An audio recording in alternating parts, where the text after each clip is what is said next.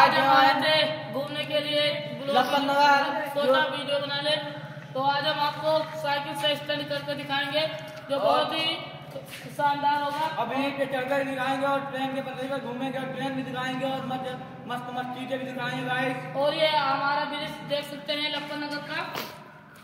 ये बहुत ही शानदार ब्रिज है। यहाँ पर चार लाइन है यहाँ पर एक दो तीन चार। बहुत ही खतरनाक है और हम अब चलते हैं वीडियो बनाने के लिए तो लास्ट तक ज़रूर देखें। बहुत ही मज़ेदार। ही है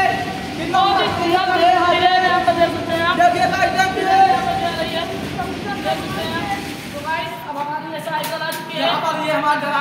है। हैं और हम जा रहे हैं स्टंट करने के लिए। तो जल्द से जल्द हम बैठने वाले हैं। तो हम साइकिल पर बैठने वाले हैं। अभी स्टंट बहुत ही मज़ेदार होने वाला है।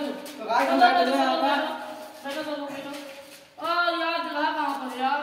ऊपर से देख लो। नहीं यहाँ पर मेरे पास एक आइडिया है। तो गाइस आपको कभी से रात पड़ जाए तो इधर लगेगा यहाँ पर तो गाइस बहुत ही खतरनाक वीडियो करने वाले हैं। आप देख सकते हैं। यार मुंडी का देख सकते हैं गाइस चलो। हमारा चलो गाइस हमारे साथ साथ चलो। ये देख सकते हैं आप। देख सकते हैं गाइस इधर का। तो हमारे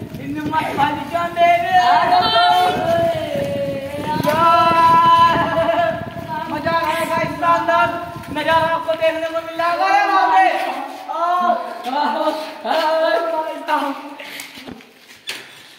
तो बहुत ही खतरनाक हुआ गाइस आप देख सकते हैं वहाँ से हम वहाँ आए हैं। आए से नीचे देख से उधर हैं, यहाँ तक हम आए हैं।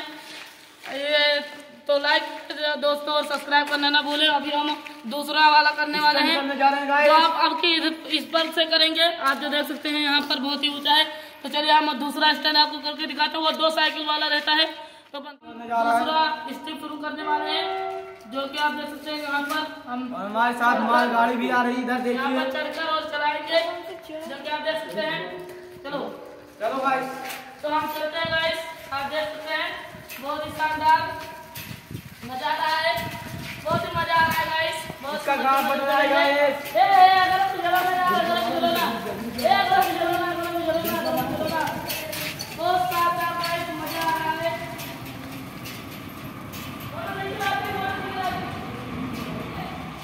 तो फाइनली गाइस हम अब जा रहे हैं ट्रेन के पटरी पर घूमने के लिए। यहाँ पर हम लोग जा रहे हैं। अभी घूमेंगे हम ट्रेन के पटरी पर। बहुत ही अच्छा अच्छा वीडियो और बनेगा हमारा। अभी और स्टैंड हम दिखाएँगे आपको ट्रेन भी दिखाने वाले हैं। चलिए ट्रेन के पटरी पर हम चलते पैसेंजर ये जा रही है अभी देखना आप ये देख सकते हैं आप।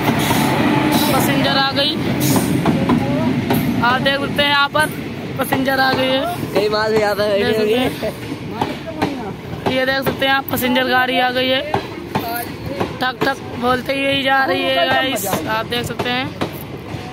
गड़गड़ा है। गड़गड़ाई जा रही है गाइस देख सकते हैं आप यहाँ पर हमारे। खत्म हो गई गाइस ये बहुत छोटी है देख सकते हैं रुक भी गई। देखो रुक गए। रुक गई गाइस यहाँ पर घुमा जाए अंदर अंदर गई देख सकते हैं गाइस यहाँ पर हम सीट पर हैं। देख सकते हैं आप पंखा भी चल रहा है यहाँ ऊपर। देख सकते हैं ऊपर पंखा भी चल। रहा है। रियल में आ गया ट्रेन में रहे हम। भाई भी बैठे हमारे हमारे प्रदीप भाई हैं। पे हैं। सो गाइस अब हम चलते हैं अपने घर पर। तब तक चले लिए जय हिंद जय भारत और मिलते हैं अपनी न्यू ब्लॉग वीडियो में। तब तक चले लिए लाइक चैनल को सब्सक्राइब करके बेल आइकन को और पर कर लो। और तब तक के लिए जय हिंद जय भारत।